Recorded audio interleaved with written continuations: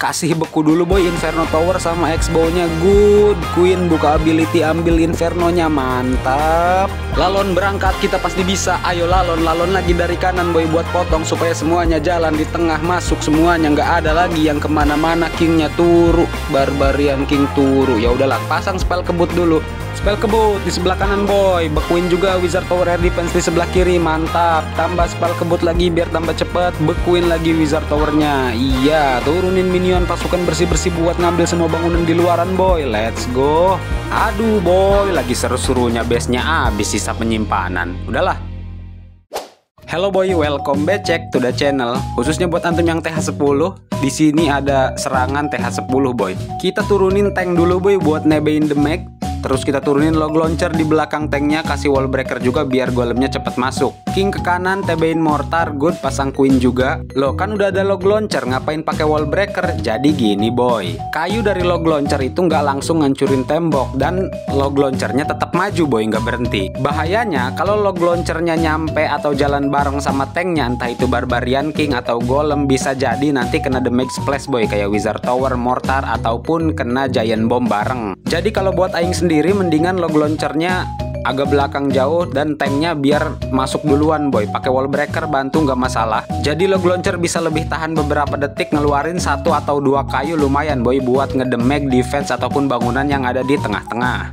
Terlihat seperti tengahnya udah habis boy. Oke kita mulai lalonya aja ambil Tesla satu ini dulu nih. Tesla ini harus diambil boy supaya nggak ada pasukan lalon yang nanti belok ke situ boy. Lalonnya dari sebelah kanan sisanya langsung buat ngambil multi inferno. Air sweeper anda merepotkan. Bekuin dulu boy multi inferno. Air sweeper bisa kena semua ini ya. Exbow juga lumayan. Banyak yang kena modal satu spell beku. Lanjut turunin minion boy. Di belakang para balon beberapa aja dan fokus lagi ke lalonya. Turunin spell sesuai kondisi sesuai kebutuhan Mungkin kalian bertanya-tanya, kalau ada CC isi naga elektornya gimana? Karena itu adalah pertanyaan yang sering banget ditanyain di kolom komentar. Sebenarnya nggak sesulit itu boy, pakai Queen Ability di tengah-tengah sama spell Poison juga naga elektro udah tewas gitu. Jadi nggak perlu terlalu dipusingin kalau lagi nyerang nemu isi CC di lawan, kalau nggak nemu ya bagus, jangan ditolak. Apalagi spell Poison yang Aing bawa dapat minta levelnya sakti boy. Ini spell banyak banget, dibuang di mana nih? Di tengah base aja kali ya. Bagus kayaknya di tengah base. Yoi, bagus sekali. Sampai TH14 juga base begini masih ada nih. Tapi karena ini TH10, kita mainkan boy pakai Barbarian King dulu buat nebe Archer Tower, log launcher di belakangnya boy. Pastiin segaris ke TH sama Inferno Towernya. Bisa boy, log launcher bisa ngambil Inferno Tower pakai kayunya sendirian. Inferno TH15 aja bisa diambil kalau nggak kena Rage Tower, apalagi Inferno TH10 boy. Buka ability Raja Barbar buat lawan Archer Queen lawan. Oke, mantap Archer Queennya sudah tiwas. Oke kita mulai lalon dari sebelah kanan aja boy. Lebih deket juga ke single inferno dari arah sini boy Dan X-bow-nya darat. Jadi enak buat serangan udara. Itu juga penting boy kalau kalian ngewar lihat lawan X-bow-nya darat ya diserang pakai udara. Tapi jika lau antum pede dengan kemampuan serangan darat Sikat. Balik ke serangan. Ini tantangannya di area belakang justru boy ya. Ada Wizard Tower dua biji numpuk gitu tapi bisa kena freeze semua sih nggak tantangan-tantangan juga. Emang gini kalau bikin base numpuk semua tuh boy sekali beku kena 4 gitu. Jadi ya tinggal dibeku-bekuin lagi aja sampai hancur boy.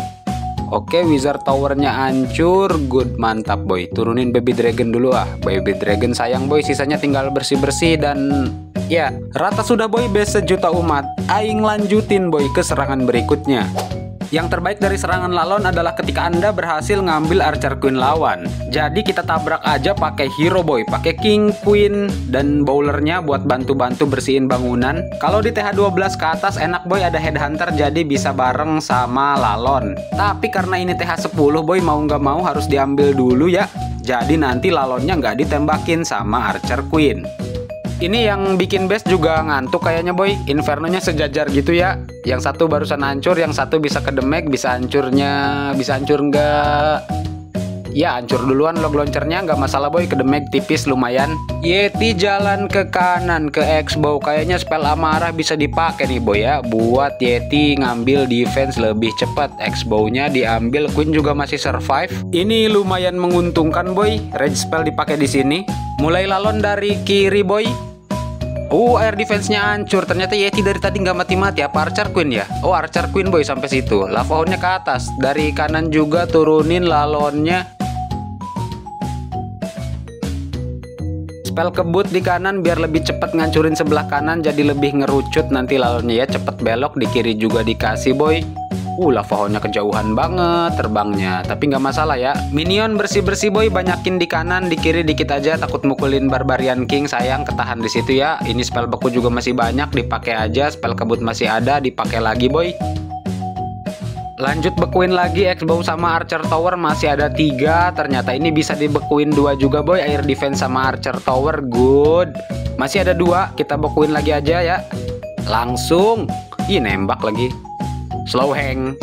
Slow hang. Satu lagi boy. Pakai aja. Nggak usah sayang-sayang. Yap tinggal bersih-bersih waktu masih 50-an detik. Yang terakhir ada penyimpanan boy. Hembat. Oke perfecto. Bintang 3 boy. Kita lanjutin ke serangan berikutnya. Oke ini terakhir boy. Dikasih ring base kita potong dulu pakai baby dragon ya supaya barbarian kingnya bisa langsung masuk ke dalam. Gak usah jalan ke kanan ke kiri. Nggak langsung masuk ke dalam tier 1 kita potong juga di atasnya boy pakai baby dragon ya.